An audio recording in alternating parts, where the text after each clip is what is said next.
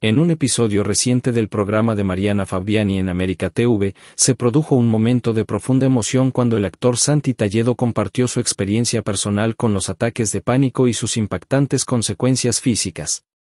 Talledo, conocido por su papel en la serie, Patito Feo, se remontó a su adolescencia para relatar cómo enfrentó esta difícil situación. Yo hablo en las redes de salud mental. Yo había dejado un poco de actuar, empecé a escribir y dirigir, un poco empecé a tener más presencia en las redes, dijo Talledo, mostrando un lado más íntimo de su vida fuera de los reflectores. El actor continuó, revelando un momento crítico de su vida, un día mostré un diario mío de cuando tenía 12 y yo estaba muy mal psicológicamente en esa época, casi me internan. Afortunadamente, contó con el apoyo inquebrantable de sus padres, quienes fueron un pilar fundamental durante su proceso de recuperación. Aparte era un tour de psicólogos y psiquiatras, agregó. Describiendo los síntomas físicos que experimentaba durante los ataques de pánico, Talledo compartió, sentía que me ahogaba, que me atragantaba con la comida, que me asfixiaba con todo lo que comía, tenía mucho ataque de pánico.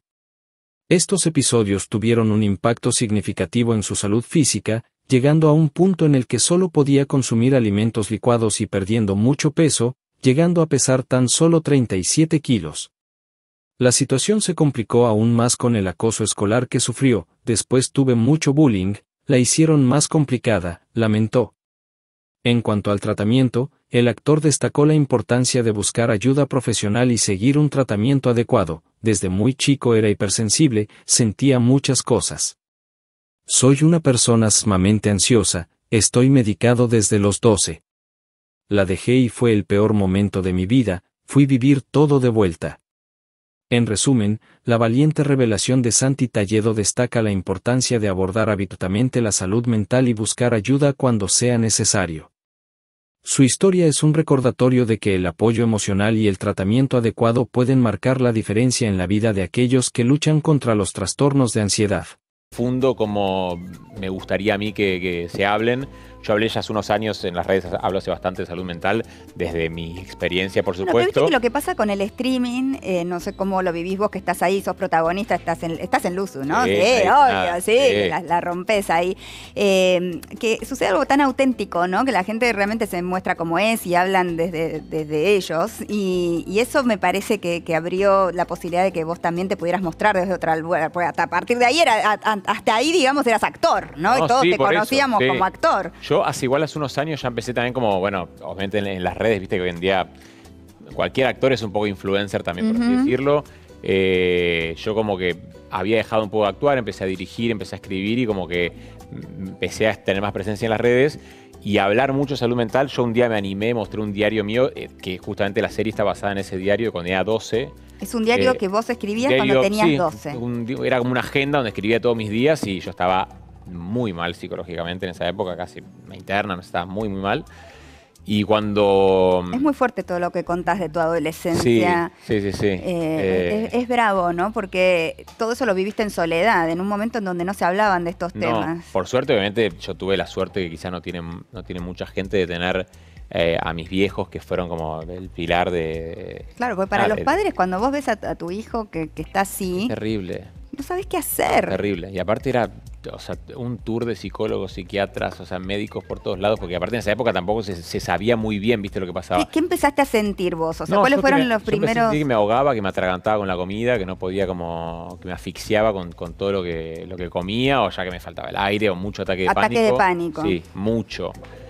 Claro, al principio en esa época, como no está la no tenemos la información que, hay ahora, de que uno mm. sabe, viste, como esto de. No se hablaba tanto de ataque no, no, no, le ponían ese nombre. No, y tampoco viste esta cosa de decir, che, mm, estoy sintiendo esto, bueno, eh, tranquilo, puede ser ansiedad. No, a mí me hicieron estudios de deglución, o sea. Que vos no podías tragar la comida. Yo sentía que me quedaba atorada la comida. Que en pasaba, obviamente no estaba asfixiado, no es que me estaba tosiendo ahogado, pero yo sentía... Pero, o sea, no podías comer, o sea, te comías todo líquido. Yo llegué a comer todo licuado, o sea, a mí me licuaban el pollo, todo lo comía licuado, no voy a tragar nada.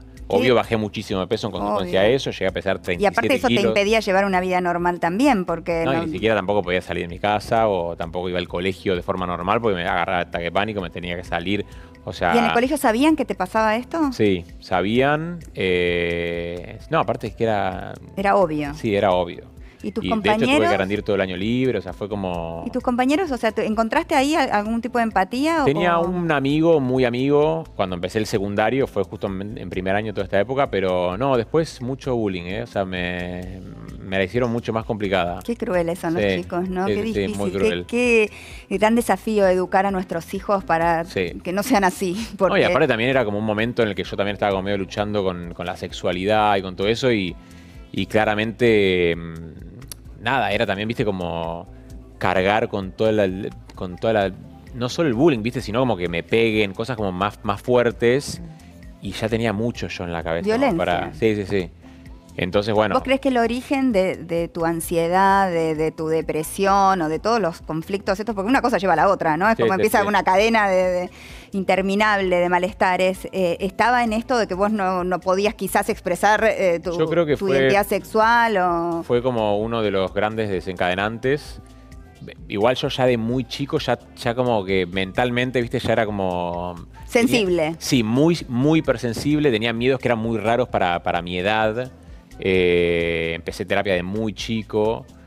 Y nada, sensible, por ahí viste eso, ¿no? Sí, obvio, como que hay personas que son más sensibles y, necesitan lidiar con la realidad de una manera distinta. No, y también soy una persona, a ver, por supuesto, eh, sumamente ansiosa, estoy medicado, yo estoy medicado desde los 12, o sea, como que nunca nunca dejé de tomar, quise dejar de tomar en algunos momentos, por eso se llama Cero miligramos también la serie mm. eh, y el podcast, porque también era algo que yo cuando empecé a trabajar en Patito hace, muchos años, tenía 17, yo esto no lo contaba, era como tomaba medicación escondida, no decía que tenía ataque de pánico porque pero qué difícil, ¿no? Trabajar en la tele sintiéndote así. Pasa que también, viste, en esa época era como, che, si saben esto me van a rajar. Lo que pasa es que no se decía que había que ir al psiquiatra. Cuando hace unos años, y no tanto, cuando alguien decía voy al psiquiatra, no psicólogo, voy al psiquiatra, hasta re loco. Está re loco, sí. Ya eh, sigue existiendo el prejuicio con la medicación, a pesar de que cada vez se habla más de esto, ¿no? Pero vos mismo lo decís, yo quería dejar de tomar la medicación. A veces es uno quiere dejar de tomar, claro, pero hay gente que, tiene que tomar la medicación para siempre, digamos, como hay otras personas que toman medicaciones para, otras cosas. Por eso, sí, sí. Y, es también lo que, lo que transmito un poco yo en el podcast. Obviamente no hago apología a nada, pero siempre, de hecho, hablo desde mi, experiencia, ¿no? Pero yo cuando quise dejar la medicación, la dejé y fue el peor momento de mi vida. Tuve que volver a tomarla. Y también lo que tiene la medicación en mi caso ¿Qué te es pasó cuando la dejaste? No, no, entré en un pozo, pero insoportable. No podía salir de mi casa, era tipo... Todo de vuelta, ir para de atrás. Vuelta, todo de vuelta, me agarró todo de vuelta.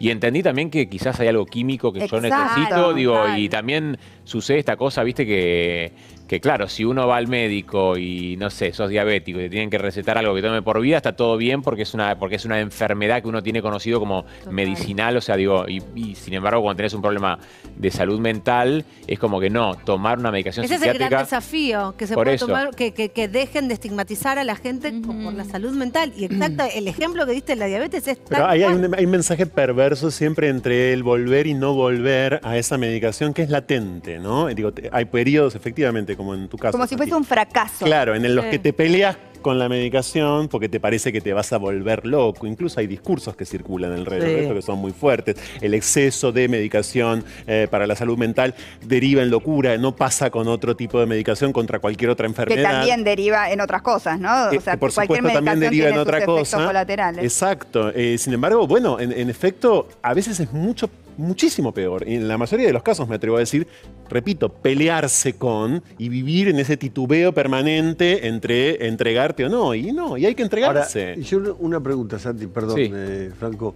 Vos a los 12 años tomabas medicación, sufrías un bullying incesante, sin embargo lograste salir adelante y a los 17 años hacías lo que querías, estabas en la actuación. ¿Cómo fue ese, a qué te abrazaste o a qué te agarraste para poder superarte?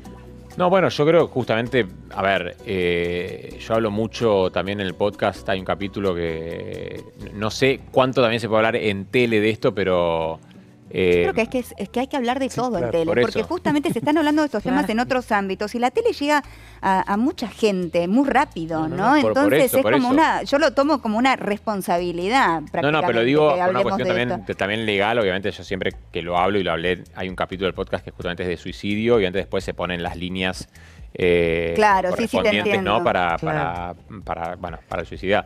Eh, pero me parece que hay un, hay un tema que yo creo que la sociedad no lo está viendo con la magnitud y con la importancia que debería tomarse, que, es esto, ¿no? Hay personas que, que no, no, se tratan como deberían tratarse y yo, es lo que te digo, yo tuve la suerte de, tener dos padres que, nada, o sea, yo me saco el sombrero por ellos, por todo lo que tuvieron que, pasar conmigo. Y aprender seguramente, ¿no? Para poder acompañarte. Pero bueno, como hay... Qué, ¿Qué herramientas desarrollaste vos eh, y cómo para sentirte mejor, para, digamos, poder lidiar con esto, ¿no? Que te acompaña y que posiblemente en distintos momentos de tu vida reaparece, se va, estás mejor, estás peor, ¿no? Pero están los altibajos. Sí, no, está siempre, o sea, Es así, está latente ahí, me, ¿no? Me acompaña y también me dio cosas fantásticas, ¿eh? O sea, digo, siento que también es parte de lo que decía recién, una sensibilidad y algo que, que quizás uno a veces yo de chico, lo que yo siempre decía era como que quería dejar de ser yo, ¿viste? Yo quería ser como mis compañeros, como la gente veía que, que no le pasaba nada. Normal.